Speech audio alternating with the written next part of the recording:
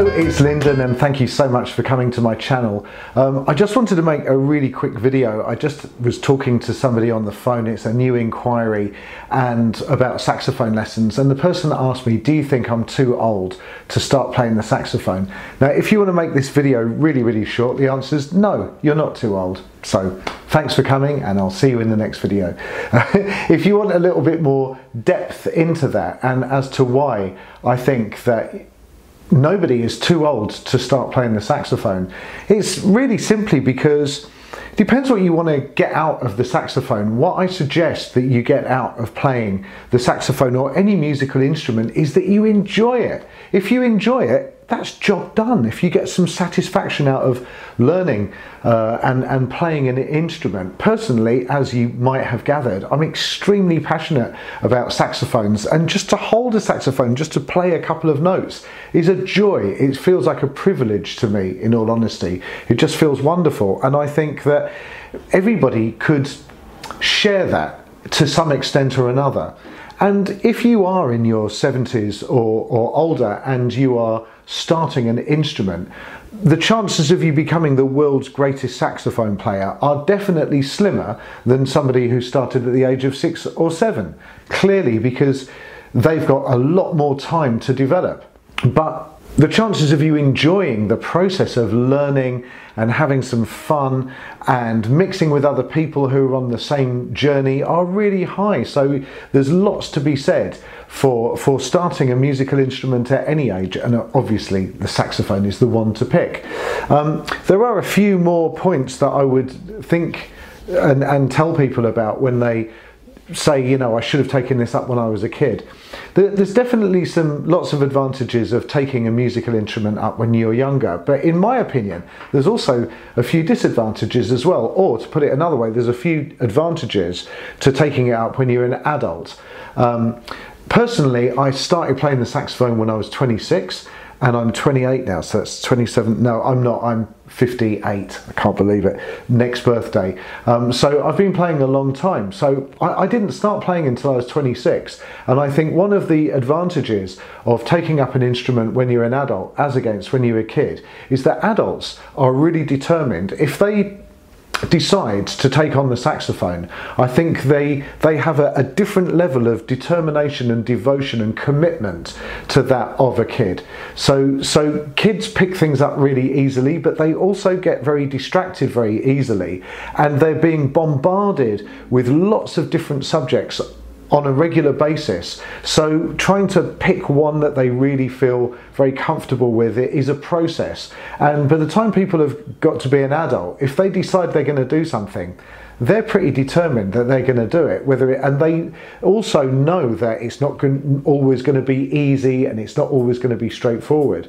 So being an adult learner, I think there's a there's a lot of very positive things about that. Adults also recognize that in order to um, get growth in a particular subject, you need to devote some time and practice, whereas kids can often be very reluctant to to commit to the idea of practice because it feels like drudgery or a chore or they'd rather be out playing or something.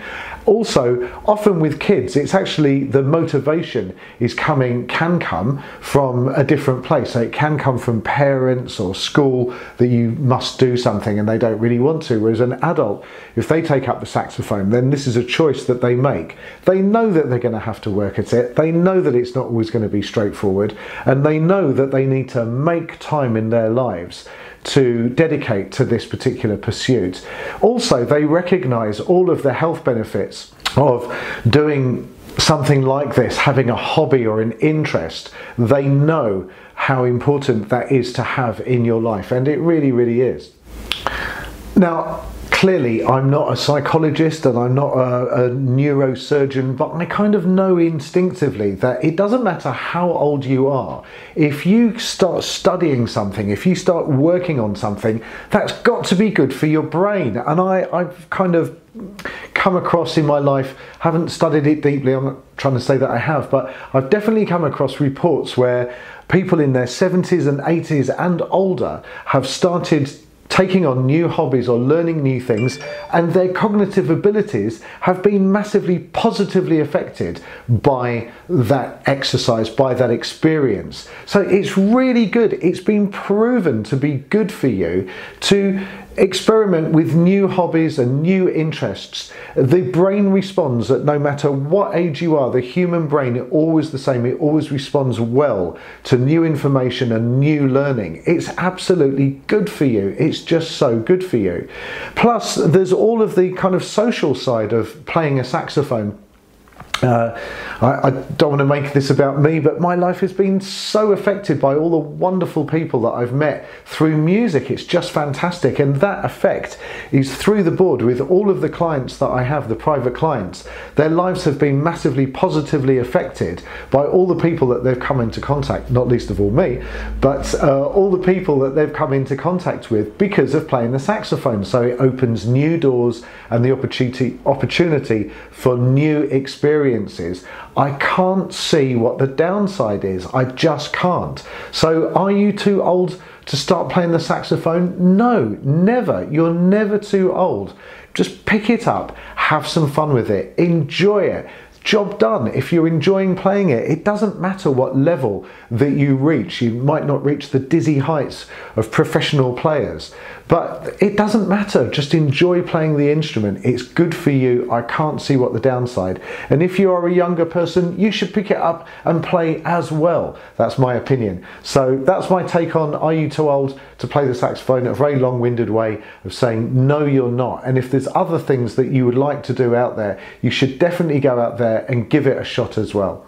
Uh, I hope this, uh, my take on things has been interesting to listen to me ramble on and rant on about my passion for this wonderful instrument. Thank you so much. Thank you to the people that have supported me with your positive comments and your positive feedback and your buying of coffees.